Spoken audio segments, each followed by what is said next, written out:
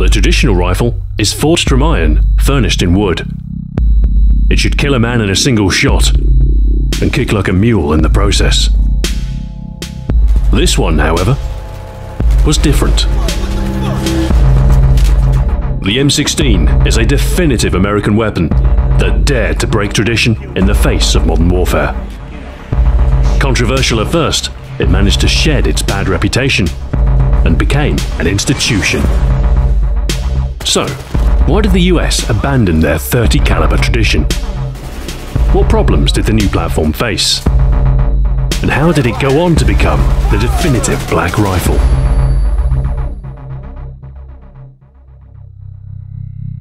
World War II changed everything. Traditional tactics were outmoded. Combat was faster paced and closer ranged. This meant battles were no longer won by marksmanship. Instead, victory correlates with sheer volume of fire.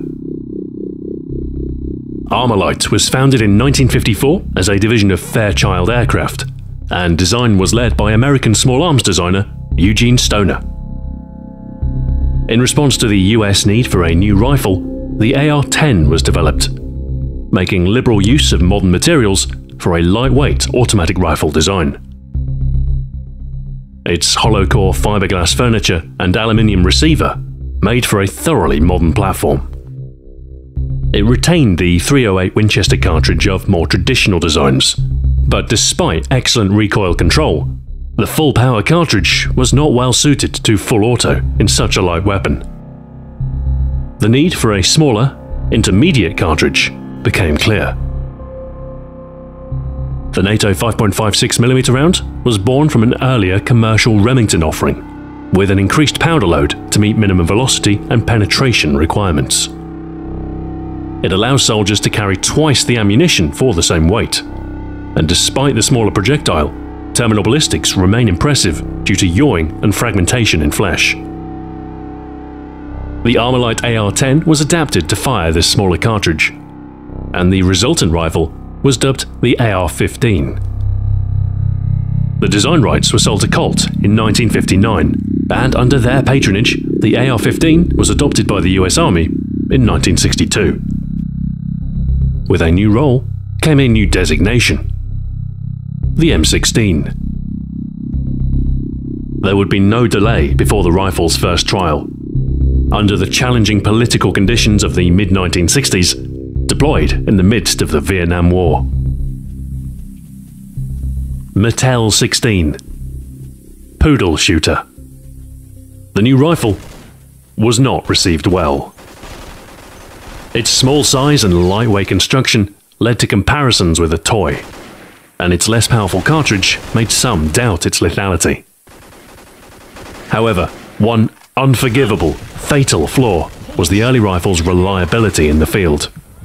A change in powder type radically altered the ammunition's pressure curve, with a drastically higher PSI raising cyclic rate and leading to extraction failures. The earliest issued rifles also lacked a chrome-lined bore, and combined with challenging jungle conditions, and lax maintenance based on a belief that the weapon was self-cleaning, the M16 quickly gained a bad reputation. Its failures were widespread, with 80% of soldiers reporting experience with stoppages, and the effects potentially lethal. A crisis no one needed at a time when public opposition to the war was nearing its peak. It's not surprising swift action was taken. The upgraded M16A1 was introduced in 1967, resolving most issues and helping to quickly re-earn trust in the weapon. By 1968, the rifle was well liked by those who used it, and despite its shaky start, few bear any grudge against the platform today. Lightweight and easy to handle, yet accurate and with a round that punches above its weight. The M16 set the standard for modern military rifles, and as a result, it's easy to forget how revolutionary it was upon its introduction.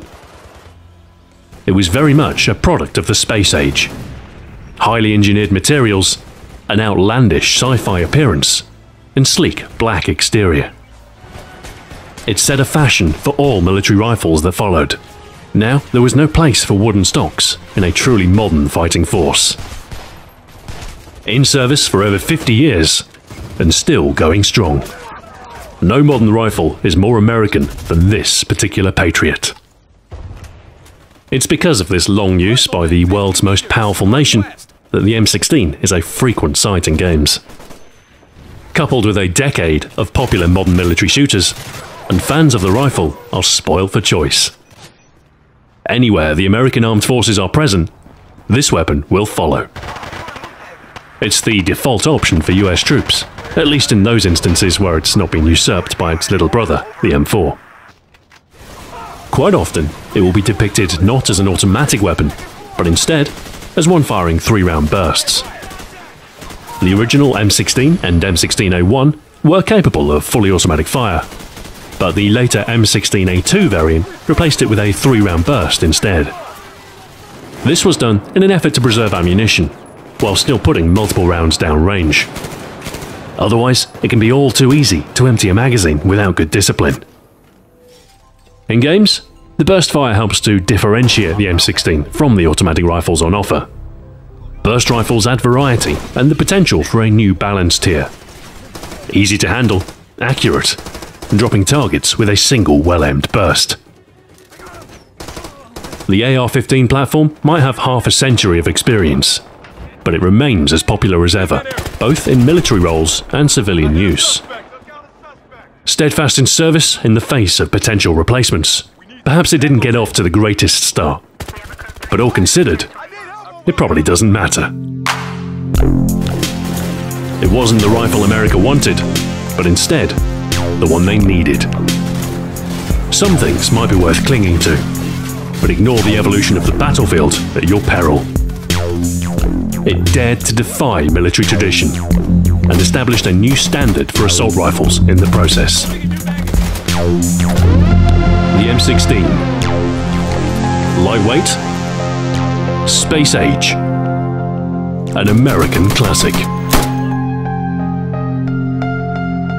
Thank you very much for watching, and until next time, farewell.